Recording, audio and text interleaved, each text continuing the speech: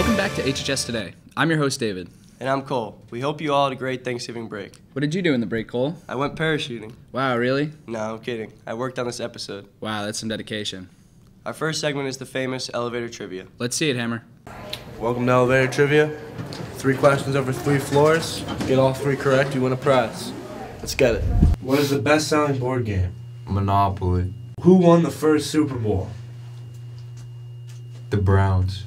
Which franchise which franchise has never been to the World Series? Astros.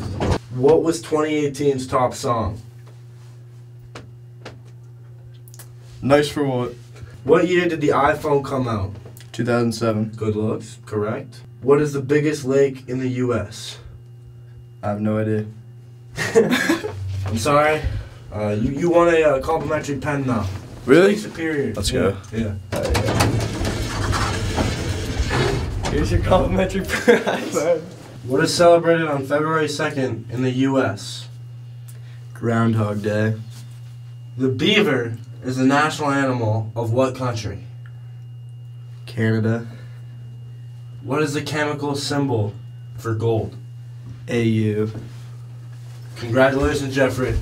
You won your free uh, HCAM bag for uh, answering all three correct. Such great questions. Did you know the answers, David? Nope. That's why they were so great.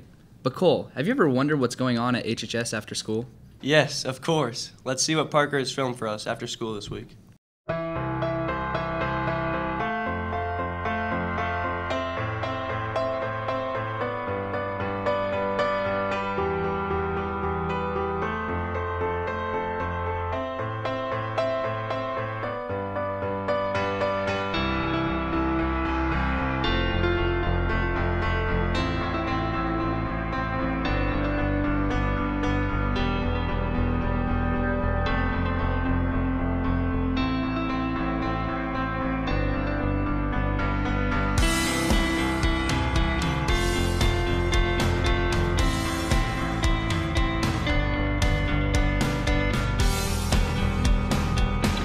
You know what else our viewers don't see very often? No, what? Behind the scenes of HHS Today.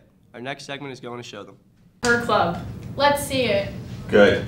My favorite part about HHS TV is the variety in it. Every class is different, and every student brings their own vision. Uh, good one, Jess. see, I told you. Are we missing something? I honestly didn't expect to be using these kind of tools, more like amateur tools. The thing that I most enjoyed working on was the club fair. I think it is a good class to take. Uh, it widens your skills, like editing and just filming. You kind of just hang out. It's a lot of fun. Next week. Yay, good job! Isn't that cool?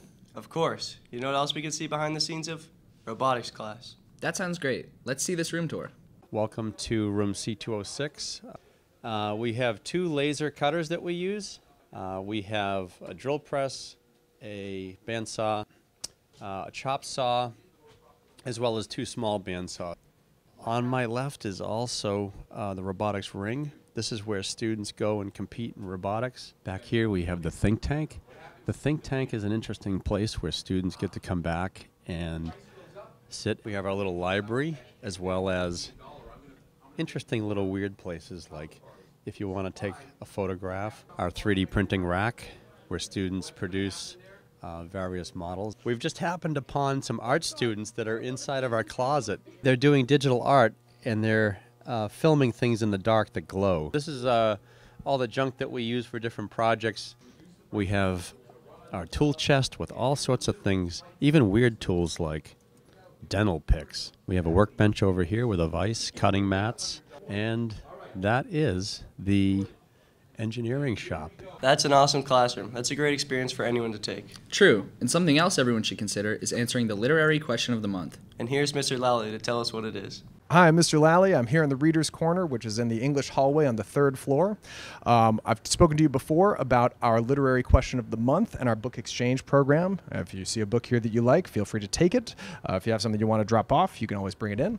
Uh, but I just wanted to remind us of the literary question of the month for December 2019. Since the decade's coming to a close, we're thinking about uh, the 21st century. The question of the month for December is what is the best 21st century book that you've read so far? Uh, all you have to do is find a slip here, write your description, staple up here to the wall, and we'd love to hear some of your recommendations.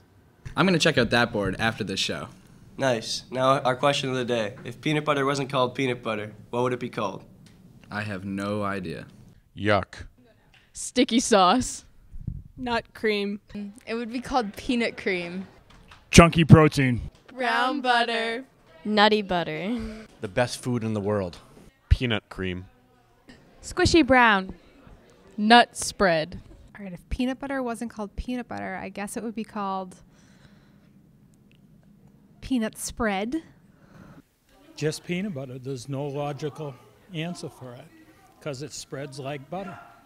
There it is. Uh, I would say creamy goodness. Peanut juice. Cement. Squished peanuts? Water. Grape jelly. Found any inspiration, David? I sure did, but sadly that was the end of our show. That's sad, but luckily for you, you can find more HHS TV on our website at hhs.today. Goodbye and see you next time.